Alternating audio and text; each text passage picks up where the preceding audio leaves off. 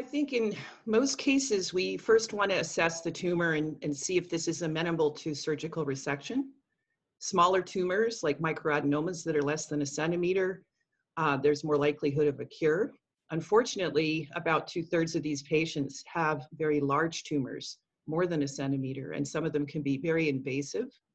And so surgical cure cannot always be attained, but certainly in many cases, we do try to debulk the tumor and um, provide some amount of growth hormone control. And then after that, we have to consider if that patient would be a candidate for radiotherapy or if we should try medical therapy. Um, you know, radiotherapy has its own problems in the sense that it, it takes uh, years for that to take effect. So even if you see that a patient would benefit from that, we still have to control the disease in the meantime.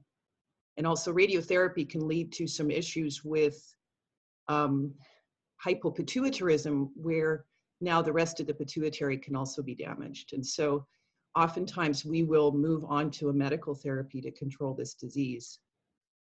We really have two uh, approved medications uh, to treat acromegaly. The first are somatostatin receptor ligands, which bind to a receptor on the surface of the tumor, and that uh, turns down growth hormone secretion it can also cause shrinkage of the tumor, so it can lead to better tumor control.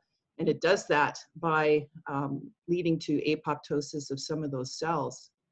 Uh, we have a second therapy, um, which is a growth hormone receptor antagonist.